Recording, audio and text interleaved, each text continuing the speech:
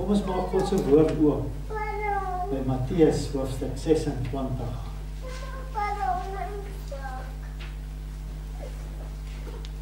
En ons twee gedeeltes in Matteus 26 wat ek vir ons wil lees.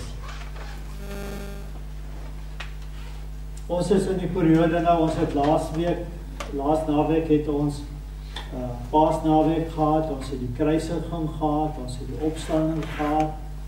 En en nou is ons in hierdie tussenperiode tussen die opstanding en hemelvaart. En en dit is daarom dat ek vanmôre so 'n bietjie by by Petrus se lewe wil kom stil staan. En uh, ons sien hierso by vers 31 Petrus gewaarsku.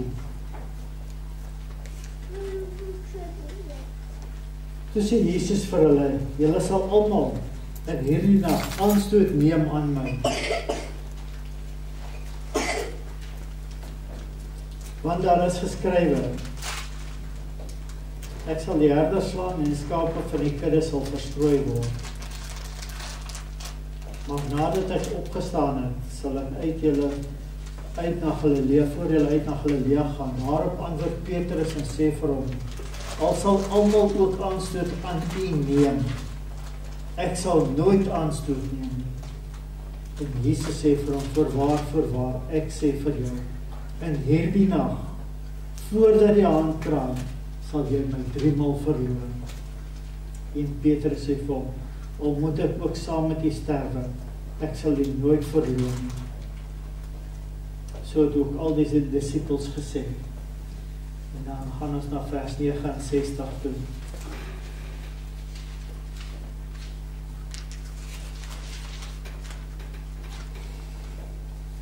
En Petrus het buitekant gesit in die binneplaas van die paleis.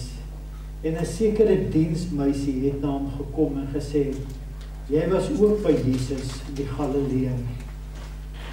Maar hy het dit voor almal ontken en gesê: "Ek weet nie wat jy sê nie." En terwyl hy uitgaan na die poort toe, sien 'n ander diensmeisie hom en sê aan die wat daar was: "Hierdie een was ook by Jesus die Nasareër." En met 'n eed ontken hy dit weer. Ek ken die man nie. Maar 'n bietjie later kom die wat daar saam is en sê vir Jesus, sê vir Petrus, waarlik, jy is ook een van hulle. Want ook jou spraak maak jou bekend. Toe begin hy homself verwens en te sweer, ek ken die man nie. En dadelik het die haan gekraai en Petrus het die woorde van Jesus onthou wat hy vir hom gesê het: "Voor die haan kraai sal jy my 3 maal verloon." En hy het buite toe gegaan en bitterlik geween. Hemel Vader, dankie sommer net vir so kosbare skrifgedeelte vanmôre dat ons daaruit kan lees, kan leer. En Here dat U vanmôre op 'n besonderse wyse in ons lewens kom inspreek. Dankie vir die genade en die liefde vir ons. Dankie ook vir die woord. Dankie dat ons dit ons eie kan maak. Seën ook hierdie woord vanmôre by die antwoord daarvan. En ons kom vra net in Jesus se naam. Amen. Petrus se optrede en as ek dit sê Petrus se optrede dan is daar baie van Petrus se optrede wat ons sonder so direk na ons toe kan deurtrek en kan sê hoe pas dit hoe is dit van toepassing op my vandag en verseker kan ons dit van toepassing maak.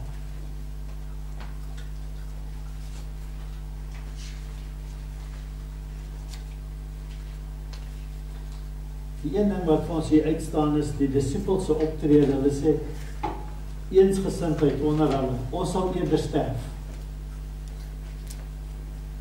Mense sê maklik iets voordat hulle gedink het en die omvang van daar daarvan bereken het. En dis presies wat die disippels gedoen het. En een ding wat ons in ag moet neem en in gedagte hou, is dat hierdie manne stap 'n pad van 3 jaar saam met Jesus, né? So hulle het vir Jesus gesien dooies lewend maak, siekes gesond maak. Hulle het gesien hoe hy die rabbies leering gegee in die tempel. So hulle in nie in nie soseer in die tempel nie in die sinagoge.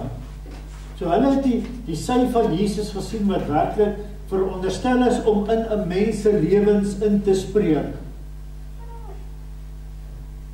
En vanuit hulle ervaring en hulle belewenis sê hulle ons sal eerder saam met U sterf voor ons U verloor.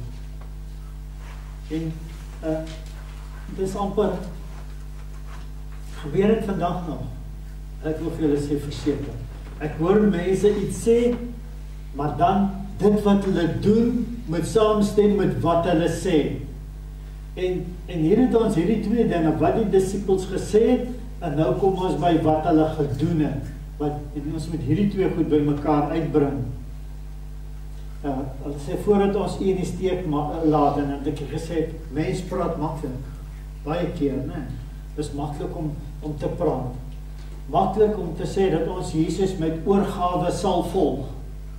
Ek het dit in die bestek as ek vir julle sê van 'n rinsoorgadering van 31 jaar, dan Dit is ek self binne volgende maand, dis 33 jaar terug wat ek tot bekering gekom het, 14 Mei 1989. En in hierdie 33 jaar het ek baie mense gesien die pad van God begin stap met opgewondenheid, met oorgawe. Ek het baie mense gesien afval van hierdie pad of ek het mense gesien verdwyn van die pad af. So dit wat aanvanklik in hulle harte ge geleef het, het afgekom het dit lou geword. Dit het dood gegaan. En dan sê ons mense praat voordat hulle dink. Nou as ons kyk na omstandighede, ons kan sê ja, maar die omstandighede van hulle is anders as vandag, né? Nee. Slot soms dat beter is hulle en dan dan sien ons dat aanvanklik was die disippels daar maar stilweg het hulle verdwyn toe die druk kom, toe verdwyn hulle. Mense en ek wil vir julle sê, die kerk is onder druk in die tyd waarin ons leef. Ek en u se getuienis is onder druk.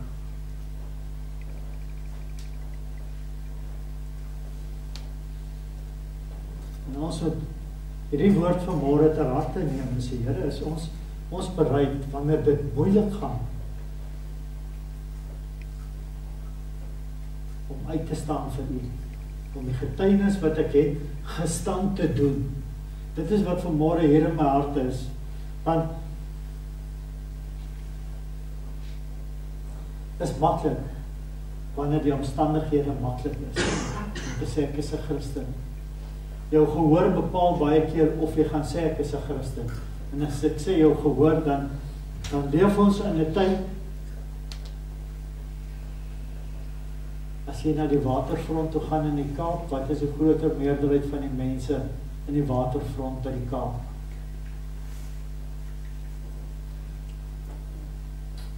Dis anders denke, né? Dit is homoseksuele mense in die orde van die dag by die waterfront. En dan raak dit moeiliker om te sê ek is 'n Christen, om te sê dit is waarvoor ek staan. So ons moet hier terwyl ons die geleentheid het vanmôre luister na hierdie woorde sê Here help vir ons om in ons harte in te tree. Want hoekom sê ek dit? Want dit is 'n bewys van hoe sterk is jou geloof in God. En ons geloof in God mag nie twyfel nie.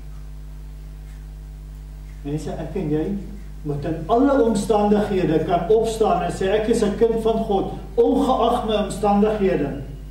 Ek het vanmôre die die stuk gelees van Dawid waar hy 'n sensus geneem het. En tot Job het hom gesê, "Wat 'n sonde pleeg jy nou? Hoekom wil jy weet hoe groot is God se volk?" En die sensus het gesê daar's 1.1 miljoen weerbare manne. En kom die profeet gaan na Dawid toe en sê vir hom Dawid, jy het gesondig voor God. God gee vir jou drie keuses.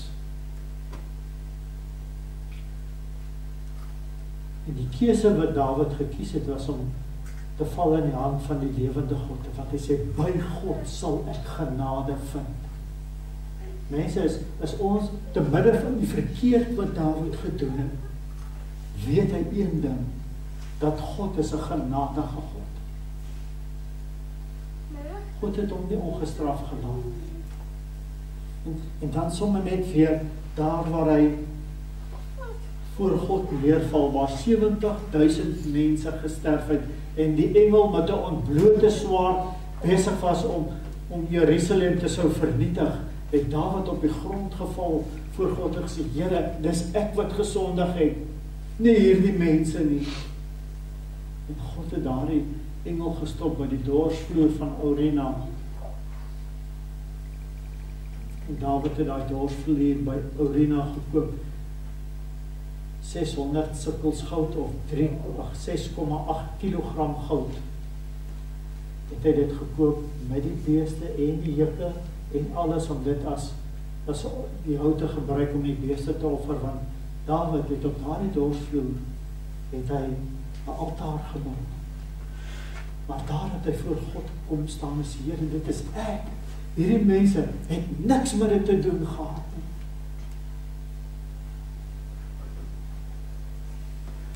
Dawid het geloof in God gehad.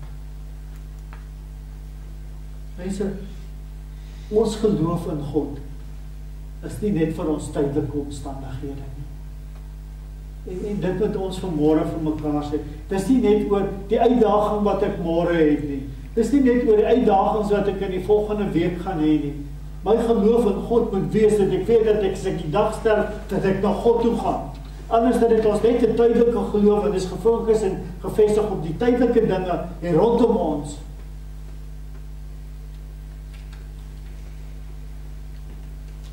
Is ons sterk genoeg om staande te bly te bidde van die uitdagings wat ek en jy daagliks in die gesig staar. En, en ek kan nie vir jou antwoord nie. Ek kan nie vir jou antwoord nie. Ek kan net vir myself antwoord. Ek kan nie eens vir Lily antwoord nie. Maar my geloof in God moet van so aard wees. Dit maak nie saak wat is die uitdagings wat ek môre het nie, dat ek weet dat God gaan saam met my kom. Die uitkoms gaan miskien nie wees die uitkoms wat ek wil hê nie. Maar dat ek die die geloof het dat God weet beter as wat ek weet. God is in beheer en God sal my gebede verhoor. Ons sit met die ding Ons wil God met ons gebede verhoor soos wat ons dit gevra het, né? En ek wil vir u sê, daar's baie keer wat God ons gebede, ons voel God verantwoord ons nie ons gebede nie. Maar in retrospek, as ons 'n paar jaar terugkyk, dan sien ons dat dat God het ons gebede beantwoord, maar op 'n ander manier as wat ons verwag het. En dis dis dit wat wat ons hier uit uit Petrus se verhaal uit kan lees. Hy het gesê: "Here, ek sal U nooit verloon nie." En dan gebeur daar 3 keer. Hy verloon Jesus 3 keer voordat hy hang kraai. En ek wil net so vir 'n oomblik by die 3 keer staan wat wat Petrus wat Jesus verloon het. Die man wat 3 jaar saam met hom stap. Die man wat veronderstel is en en Jesus het vir Petrus gesê op hierdie rots Petrus is afgelei van die Griekse woord Petra wat beteken rots. Op hierdie rots sal ek my kerk bou. Hou dit in gedagte aan hierdie kant. Dan kom die een Petrus is binne binne sig afstand van Jesus af, né? Nee, hy wil nie te ver wees nie, maar hy wil ook nie te naby wees nie. Hy Petrus soek 'n goue middeweg. Soos meeste kinders van God of meeste mense, jy jy wil deel wees van die wêreld, maar jy weet jy het 'n gewete wat sê ek moet nie te ver weg wees nie. So ek wil daarom binne sig afstand wees. Weet as daar hulp is dat Jesus daarom kan sien of my kan help. En dan sien ons die eerste keer wat hy Jesus verloon. Hy ontken voor almal dat hy Jesus ken. Dat hy deel was van dit. Mense, Petrus was saam met Jesus in die sinagoge. So die kans dat hom gaan herken is baie goed. En hierdie diensmeisie sê maar jy was saam met hom en dan ontken hy dit. Ek weet nie waarvan jy praat nie. kan sê, "Jog, maar Petrus is daar het hy nie mooi gekonsentreer voor hy dit gesê het nie. Hoeveel keer het ek en jy dit al gedoen? Kom ons wees sommer met mekaar eerlik vanmôre. Hoeveel keer het ons dit al gedoen? Ons laat toe dat die gehoor baie keer bepaal wat ons gaan sê. Want dis wat Petrus het gedoen het. Sy gehoor het bepaal aan wie se kant is hy.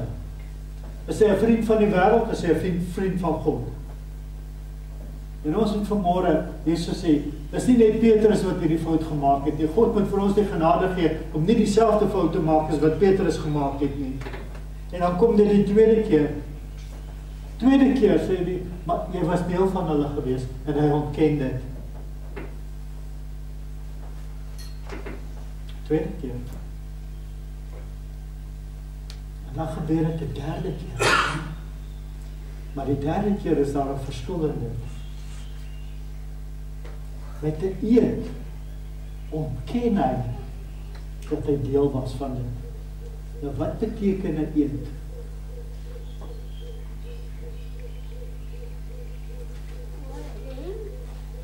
Vir wat dit werd is, sweer die Amerikaanse president op die Bybel dat hy die Amerikaanse volk sal lei. Dan is hy se hand weg van daar gebeur daar 'n klomp aan.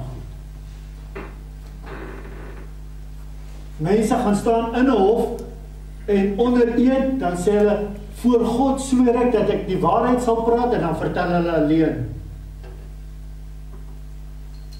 Petrus doen dieselfde. Myn eed, né? Ons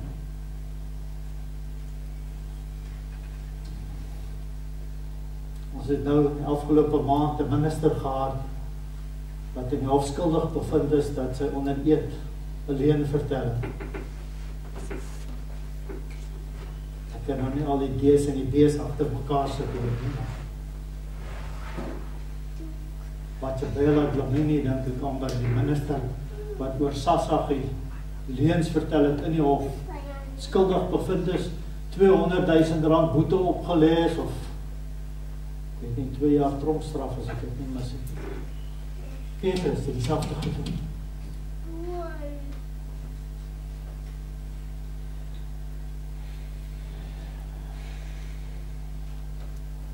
Petrus het hom eintlik self verwens daarso. En dan kom hy weer en sê ek sweer, ek ken hom nie. As ons sê ek sweer dit is so, dan sê hy ek beloof dit is so. Nee. En ons het in ons familie al 'n ding gehad as mense jy beloof dan dan mag jy nou regtig waar nie die alleen vertel nie. Petrus kom doen dit. Die man wat in die aangesig van Christus vir 3 jaar gewandel het, wat sy skyk gelaat het en agter Jesus aangegaan het. 'n Visserman wat sy werk en sy goed net daar gelos het, die vissersnette net daar gelos het en agter Christus aangegaan het, verloon hom sweer dat hy hom nie ken nie. Onder een verklaar hy dat hy hom nie ken nie. Nog twee ander kere ontken hy dat hy hom nie ken nie. En dan kraai die haan. Dan dring die realiteit tot Petrus deur van wat hy gedoen het en skielik onthou hy wat Jesus gesê het.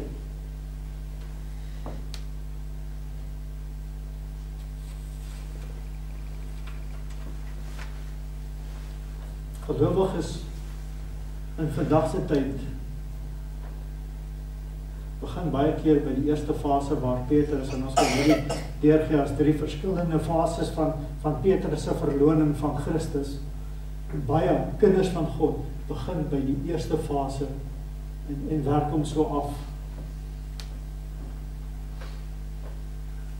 Maak asof hulle Jesus nie ken As daar goed is waarvoor ons moet opstaan en uitstaan, dan dra ons maar weg en stap verby.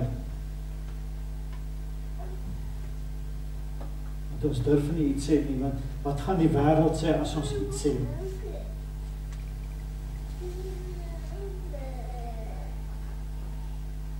Ons leef in 'n tyd waar ons gekonfronteer word oor Christelike waardes van die Bybel en ek en u het die keuse om te sê nee, ek ek stem nie daarmee saam nie of As dit in die woord van God staan, dan staan dit vas en dit is waarby ek staan. En dan neem ons nie daardie standpunt in wat God van my en van u vra om in te neem nie.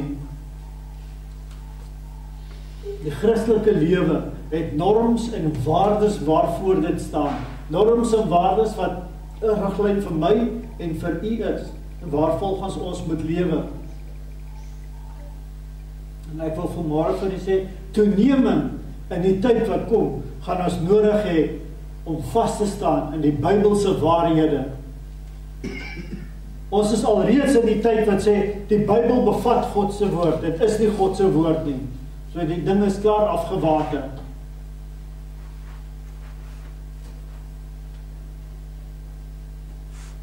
Nominale Christene pas aan by hulle omstandighede. Ek en u as ons sê dat ek het 'n getuienis van wedergeboorte.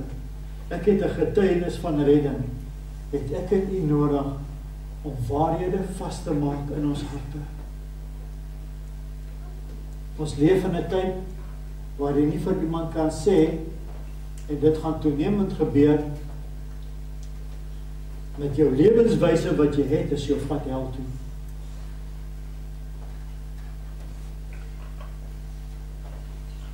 Jy kan dit nie vir iemand sê nie. Wat wil ek vir u sê? Binne die kerk het ons die milieu dat ons is by 'n vriende vriende seeker friendly churches.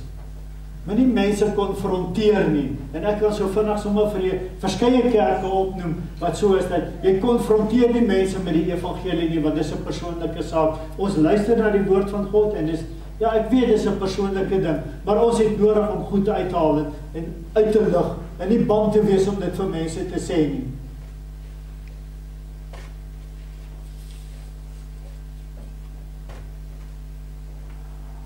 die druk op ons neem toe neem toe om ons standpunte in te neem.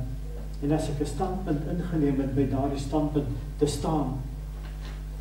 Mense vermy liewerste gesprekke as dit gaan oor oor etiese en morele kwessies rondom Christendom. So die maklike ding is kom ons vermy daardie gesprekke, ja. En en ek wil nie sê ons moet oordonderend vir mense vertel hulle is op pad help en maar ek en jy moet kan vas staan in die waardes van die Bybel en mense attent maak op wat sê God se woord. En hulle wys wat is die regte pad. En nie toelaat dat die wêreld en sy sekularisme wat wat in die kerk ingekom het, ons oorspoel het en dat ons maar net rangs dieselfde drank maar net aangaan nie.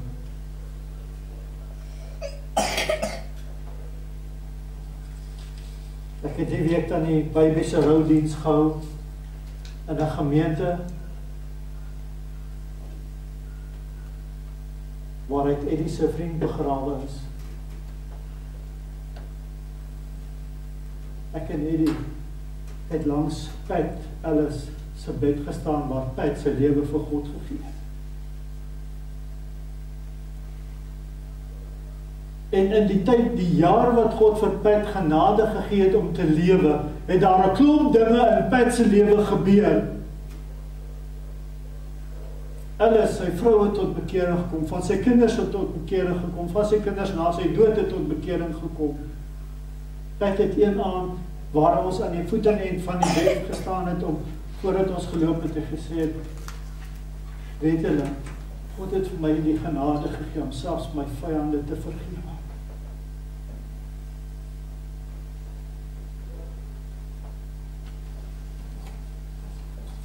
het Woensdag vir die mense gevra leef tog julle lewe so dat die dominee op jou begrafnis hoef te jok nie.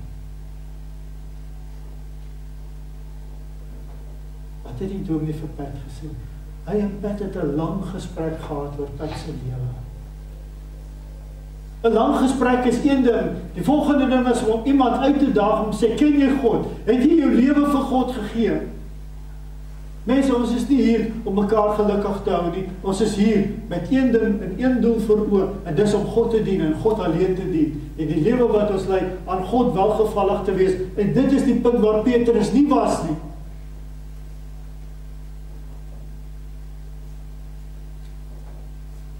En ons as kerk is te bang om reguit daaroor te praat. Want mense gaan loop en die kerk gaan finansiëel sukkel. Dis hartseer.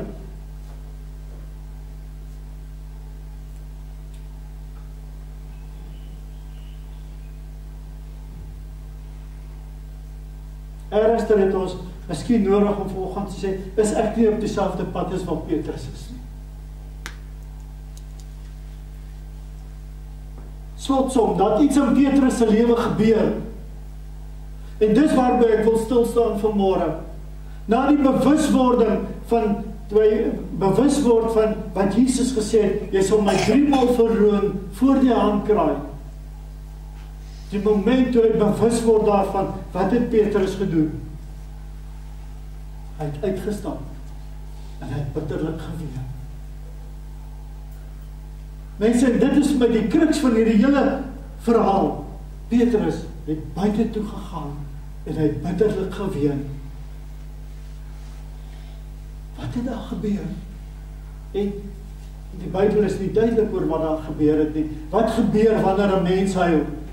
as hy in God se teenwoordigheid was. Dit is waarvan ek my afleiding wil maak. Trane is 'n teken van gebrokenheid. Trane is 'n teken van erkenning dat ek verkeerd gedoen het. Trane is 'n teken van berou om berou voor God te hê vir wat 'n mens gedoen het. En dis wat ek in Petrus se lewe sien, waar hy uitgestap het dat hy berou gehad het oor dit wat hy sopas gedoen het. Die man wat hy gesê het hy sal nie verloon nie. En jou werklik waar hy het dit gedoen.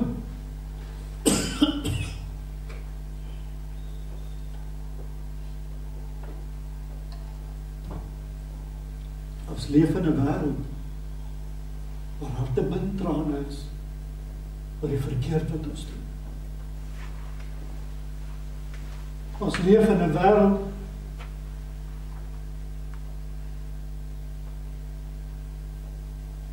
daar is moet uitkom waar Petrus uitgekom het.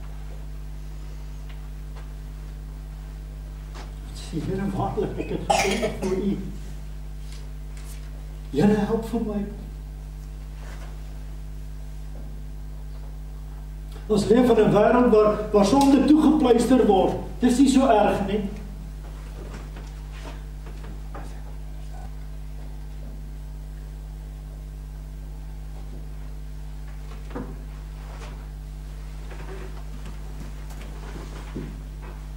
Petrus berou bitterlik gehuil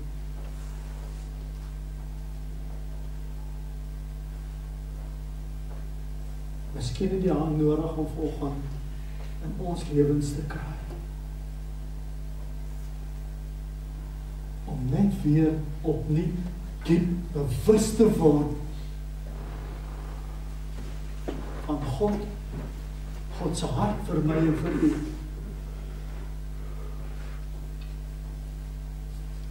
Wat daarna gebeur het, was vir my insiggewende Petrus se lewe gewees. Na hierdie waar hy uitgestap het, hy bitterlik gaan beween, gaan ween, berou gehad het oor wat hy gedoen het. Wat het daarna gebeur? Christus het hom nie afgeskryf nie. Christus het nie vir hom sê gaan weg van my af, ek ken jou nie.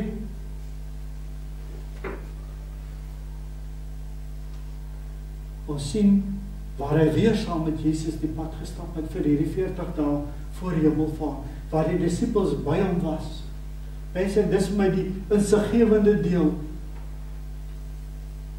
Petrus kon erken dat hy 'n fout gemaak en hy kon hierdie fout regmaak.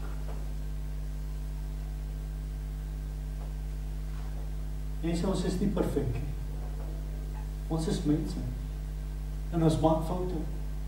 Maar dis wat ons met ons foute maak wat die verskil maak in ons lewe, wat die verskil maak in ons geestelike lewe, wat die verskil maak in ons verhouding met Christus.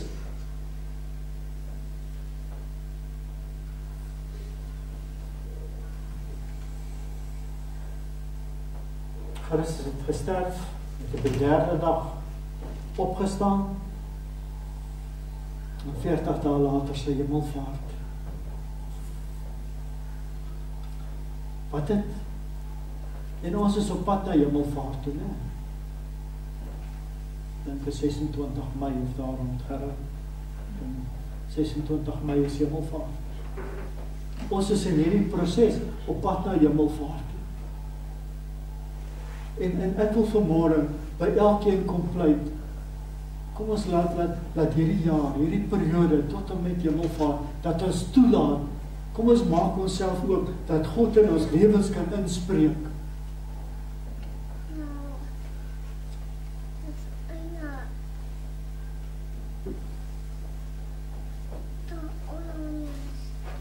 by die hemelvaart het, het Jesus vir hulle gesê gaan na die kamer toe, gaan na die bofortrek toe wag daar 10 dae.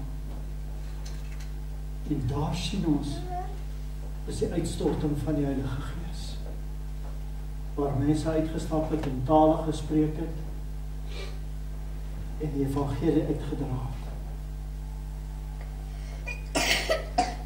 En dan kan ons 'n sprong maak van Matteus af na Handelinge hoofstuk 2 toe. Vers 12 tot 42. En ons kan gaan sien wat wie het gepreek na hulle uit die bofortrek uit gekom het. Die man wat Jesus 3 keer verloon het.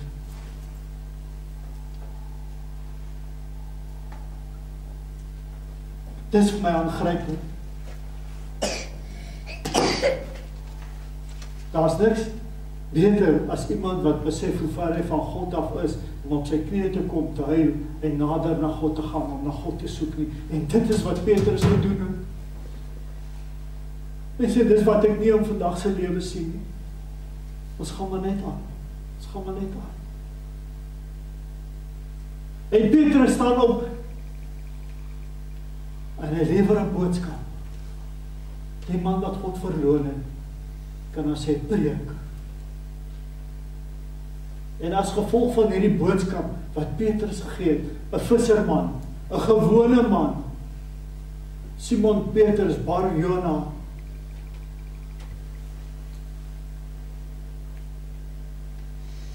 En as ons kyk na na Petrus optrede, dan sien ons nog iets van die die agtergrond waaruit Petrus kom.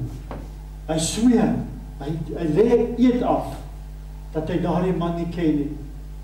Vissermense is geharde mense gaan stap op die op die kaai rond in die kaap gaan kyk na die vissermanne wat met die skuite inkom. Hulle taal gebruik. Is verstommend is iets van die visserman van die van van Petrus wat ter voorskyn gekom het maar daar het hy uitgegaan kyk voor God gaan ween en in die laaste tyd 40 dae 10 dae soek na God. En dan stap hy uit daardie teenwoordigheid waar hy gevul is met die Heilige Gees en hy preek. En wat gebeur? 3000 mense kom tot inkeer.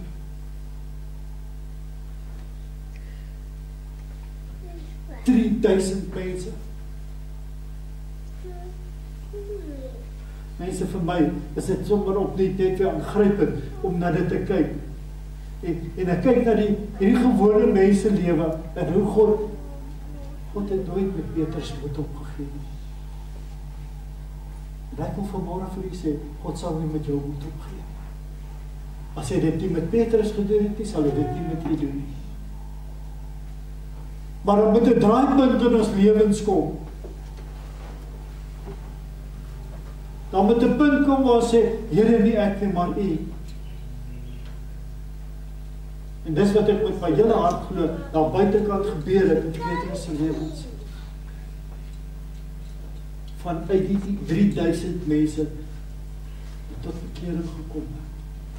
Ontstaan die eerste Christelike gemeente. Op hierdie rots sal ek my kerk bou. 'n Man wat weet hoe ver hy van God af is.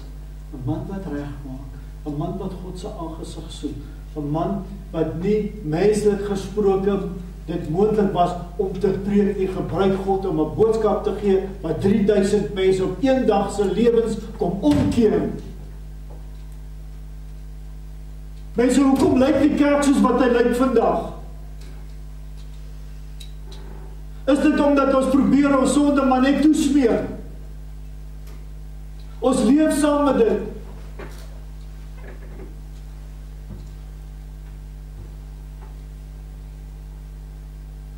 As ons net kon doen wat Petrus doen, gaan God die kerk en as ek sê die kerk is dit nie die op daardie gemeente hierdie op daardie denominasie nie, die kerk van Jesus Christus gaan omgekeer word.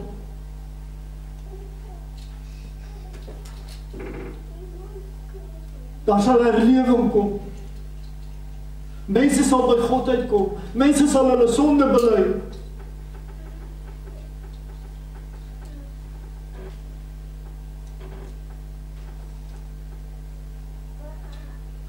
Al wat ek vanmôre vir weer kan vra as ek met dit afsluit. As ons vanmôre na hierdie drie skrifgedeeltes kyk en ons ons sien die die goddelike ingryping van God in Petrus se lewe.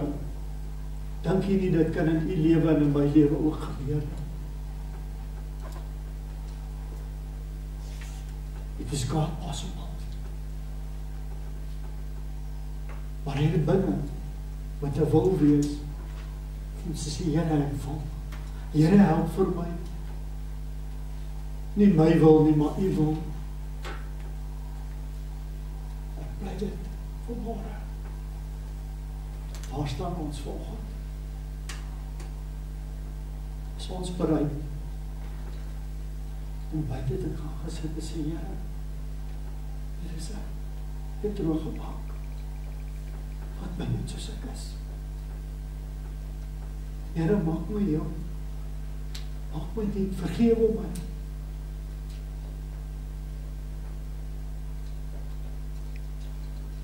Mag dit wees dat ons in hierdie 40 dae op pad na Hemelvaart, op pad na Pinkster, dat God kragtig en magtig in elke een van ons se lewens sal kom inspreek. Dis my begeerte en dis my gebed vandag. Hemelvader, baie dankie vir hierdie oggend. Dankie Here dat ons vanmôre as onvolmaakte mense na u woord kan kyk en ons kan jy sien dat u 'n onvolmaakte man kom omkeer kom gebruik op 'n magtige wyse. Here en dan wat kan ons net vanmôre uitroep na u toe. Here gaan my nie verby nie. Here kom raak vir my opnuut aan. Ek het 'n begeerte om in u teenwoordigheid te wees. Here kom raak hierdie gemeente opnuut aan dat ons as gemeente U waarlik sal soek in hierdie tyd. Dat U in ons lewens sal kom ingryp en inspreek. Ek bly dit vanmôre. By U in Jesus naam.